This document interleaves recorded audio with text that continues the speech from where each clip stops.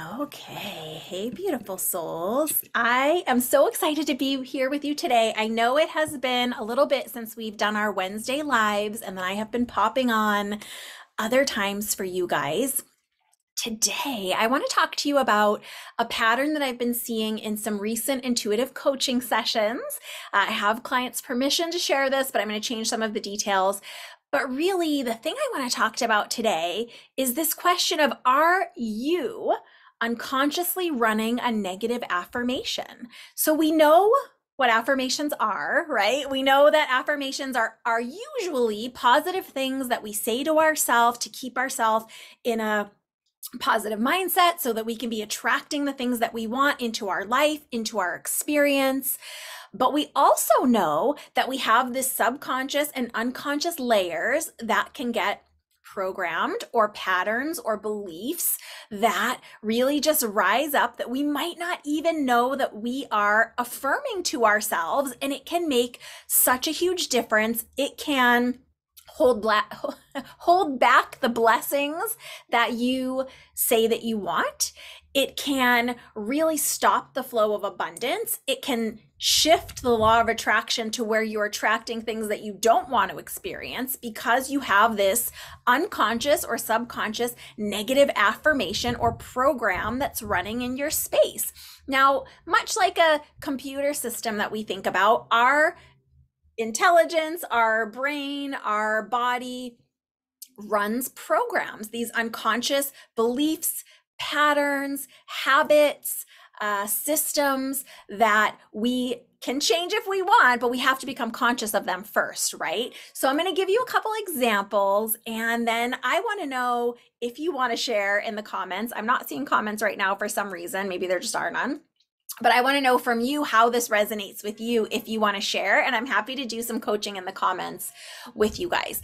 Now, what is this unconscious negative affirmation that I'm talking about? Well, you guys know on the positive affirmation side that we're attracting what we want to experience based on the energy, words, actions, motivation that we're putting out into the world, right? It's one of the reasons that we're always working to heal our emotions, our beliefs, um, and put ourselves in that direction of attracting what we want. So, most of you who are members of the Joy's Soul Spa family, most of you know that I have a personal mantra everything's always working out out for me.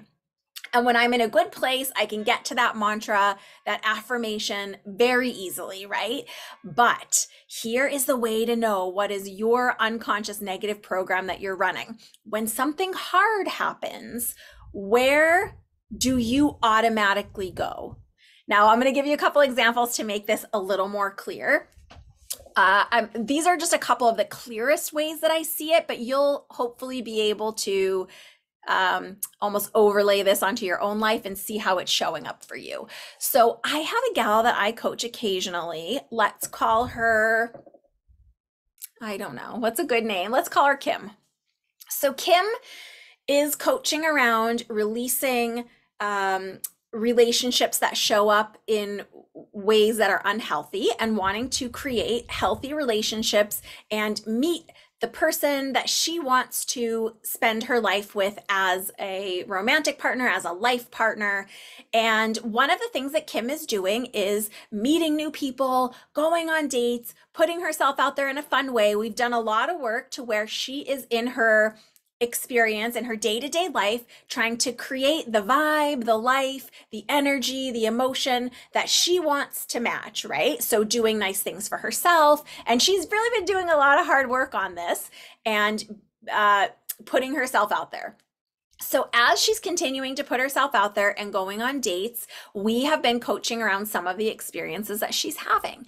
And one thing that I noticed with this particular person is that when these dates happen and they are um uh, I'm trying so hard not to use the word bad, but not the most pleasant experiences, right? So when she's coming in contact with a person, they're going on a date, they've been chatting, things are going well, and then they go on a date, and let's say this date um, in this case doesn't go so well. This person pretty clearly displays some really huge red flags of things that she's been really working hard to not attract anymore so the next session she comes in and the things i hear her saying are things like this is hopeless I'm never going to meet anyone. This is ridiculous. I don't want to keep doing this. This is painful.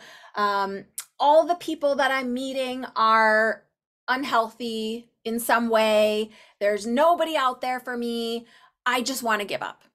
Now, that's an extreme version, of course, because we had a long time to talk about it. But in your life, what you can start looking at is when something tough happens, where immediately does that some younger version of us usually that's having what feels a little bit like a temper tantrum even if it's just temporarily that's living inside there. Now i'm going to give you a couple other examples that might help clarify this or highlight maybe where for you in your life um, this shows up or what your own negative unconscious program that you're running is i'm going to talk about someone else let's call him Ray. So, Ray is someone that I'm ongoingly coaching with as well, doing intuitive coaching and helping to to kind of find his path and find his joy in his life and create more of what he does want to experience. He's been working really hard in a second job to create more income, to create more abundance, and eventually wants to turn that side hustle into a business. Now, last time I worked with Ray, just so happens that several things went wrong on his primary vehicle, his truck. And he was so upset. And he was saying things like, How come every time I get a little bit of extra money, something happens and it's all gone? This isn't fair. This isn't right. I can't win. Um, other people can get ahead, but it seems like no matter what I do, it's one step forward and two steps back. I just can't win. I just can't catch a break. So you can really see how when Ray was in a, a little bit of a bind in a tough situation, immediately that younger version of him that wants to have temper tantrum emotions is affirming all of those negative things, right? I can't catch a break. I'm never going to succeed. I'm never, what that usually goes down to is I'm never going to be enough or I'm not enough. And that's what this person is unconsciously running as a negative affirmation, running as an unconscious program. And I want to encourage you to think about in your own life when something tough happens, and it could be um, a trauma with a capital T, right? A, a really big difficult thing. Or it could be something that is less significant on the scale of trauma. It could be something that just is more inconvenience. Um, I'm going to give you one more example of someone else I was I was coaching with. Uh, it's a, it's a lovely gal, and I'm going to call her G. And G was experiencing some health challenges, and whenever I would check in with her, when we would have our regularly scheduled check-ins, she would start the conversation with just um, saying how miserable she was with the care and treatment she was receiving, saying how uh, she felt like no one was listening to her. She felt like she could never be heard. She felt like this was never going to be better. Um, and with physical illness, of course, there are things that are actually happening in the body, and it's fair to name those things, feel the emotions around them, and address them, right? So, I'm never going to be telling you not to feel your emotions, do the work, address them. So, there is something to naming what's happening if that's part of the work that works for you. But it's that running affirmation of no one's ever going to help me, no one's ever going to hear me, no one's ever going to um, give me the care that I need, right? And so with her, the coaching ended up to be more around speaking her truth to authority figures, doctors in this case, to clearly ask for what she needed and some work around boundaries, making sure she was getting what she needed. That's just a little bit of a different case. But for you in your space, if you don't already know what this negative pattern is that rises up for you and you, we all have it to some degree. Most of us that are doing this work are working on it to some degree. Um, for me, uh, you guys saw a couple weeks ago, I did a little bit of a tough live in our Joy's Soul Spa Facebook group around a challenge that I was experiencing. And for me, the unconscious negative affirmation that rises up is I'm all alone in this, and it's not fair that I always have to do all the hard things by myself, right? So that's this little bit of a negative belief that I still work to overcome. Now, when I'm in a good place, of course, in my conscious mind, I know I have friends, I have a support community, there are people I can turn to, I know how to get help, I have tools, but it's in our tough moments the little patterns that pop up that we can identify where this unconscious negative program, negative affirmation, negative pattern is. And then we can use that to work at some of these tough emotions and understand where that goes back to. Usually it's somewhere in our childhood or in our history and our past. It could even be similar to the way our family of origin processed things or our community. Um, you know, I, I joke and say that sometimes in my family of origin, um, especially with the extended family who's mostly in spirit now, when you call and say, How are you? they're just going to give you a list of all the things that are horrible in their life. It's unfortunate, but some people culturally, eh, situationally are trained that that's what you do. So, are you doing some version of that, even if it's unconscious at this point? So, there's two things we can do. You can think back to the last time you had a crisis, big or small, and what's the negative thought pattern or affirmation that rose up for you or you can just be available as you go through the rest of this week, the next couple weeks, for anything that feels challenging that kind of tips you off your balance of recognizing the truth of, of all sides of a situation. And what, what is that fire, that negative affirmation, that temper tantrum that rises up in you? And that is the negative affirmation that you are personally running that might be holding you back from calling in all of your abundance, right? For me, I'm going to use my own example. If I have this unconscious pattern that I'm still working on that um, I can't get the help I need, or I have to do this all alone, in a way, energetically, I am resisting help because I'm affirming that it's not there, I don't have it, I can't get it, or some version of that. So you can see how these sneaky little negative thoughts, negative patterns. It's usually old stuff that we might not even truly believe anymore. But if it is triggered or if it bubbles up out of you in a time when you're feeling challenged or backed into a corner, it's still in there. And so you still have an opportunity to refine it, to investigate it, to explore it, to say, you know, which version of me believes that? How old am I when I hear myself saying, I don't have help with this and I'm never going to have help and I'm all on my own. What age of me is saying that? Is that today? Is that two weeks ago? Is that 10 year old me? So that's one thing you can do. And you can also work to understand how that is holding you back, right? So you can do what I just explained to you guys, where you're just looking at, okay, are there areas I'm not getting the help I need? And how is this belief, this negative affirmation, continuing to hold that back from me and working on the emotions around it? So usually there are some pretty tough emotions tied to a negative affirmation that we're still running. Um, and we can just whittle down at those difficult emotions either through journaling. If you have a therapist that you like working with, that's a great way to do this work. Through meditation, through um, I told I talked to you guys a lot about walking and receiving inspiration, but with the intention of understanding more deeply this these negative affirmations, these programs that we're running, even subconsciously or unconsciously, but they do tend to just pop right out when we're experiencing some kind of challenge that lights them up.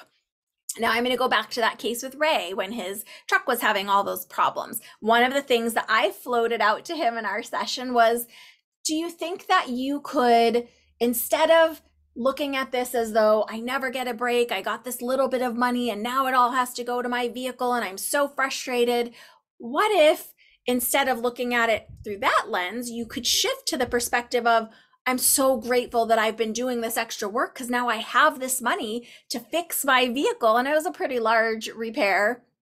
And now I have the money to do it right away. I don't have to stress. I can still pay all my bills. I have pretty close to exactly the amount I needed. What a blessing, right? So there's different perspective to be had, but often we need to work those difficult emotions around that unconscious negative affirmation that we are running. Does this make sense to you guys? Do you know what I'm talking about when you have a really tough moment and all of a sudden all those uh, patterns, programs, beliefs just pop right out of you. Um, I think you guys do know what I'm talking about. And hopefully, my example, my personal example made sense, and the examples of the people in coaching that I gave made sense. Let me know if you can identify your own. Uh, unconscious negative affirmation that you're running and can you swap it out with something else i'm curious to know and a next level to that, if you're a little bit advanced, I know that a lot of you in the Joy's Soul Spa Facebook group are advanced and doing this work, this work on your emotions, on yourself, on your law of attraction, and on living your best life. So if you can identify one of the unconscious negative affirmations that you're running, can you then start to whittle down at what emotion or belief is underneath of that, right? Because if we can get to that core belief it's it's usually some version of the emotion of fear. So um, i believe that all things at the very basic level boil down to fear or love. And if it's not love it's fear. So can you boil it down through either journaling or meditation or um, listening to other talks or working with a therapist or just going for a walk and being available for some of that to bubble up? Can you whittle down at what the primary emotion is underneath of that. And let's shift these unconscious negative affirmations so we can truly be in alignment and resonating with what we do want to call into our experience so we can really move in the direction that we most intend. I hope this is helpful for you guys. You know that we are closing out October and heading into the part of the year where we are really excavating some things within us. So I thought, let's start here. It's not a sexy topic, but it is so helpful in shifting us into the receiving mode that we actually want to receive instead of creating more of what we don't want to receive. So let me know what your unconscious negative affirmation is. You guys already know mine. Um, and let's help each other through this together. Big hugs and lots of love. It is always great to be with you guys and I will see you soon. If you're not um, already on my Instagram, hop over there. I have been popping on live more and doing little mini readings and things. So those are over there and I will see you guys very, very soon. Big hugs, lots of love, and bye for now.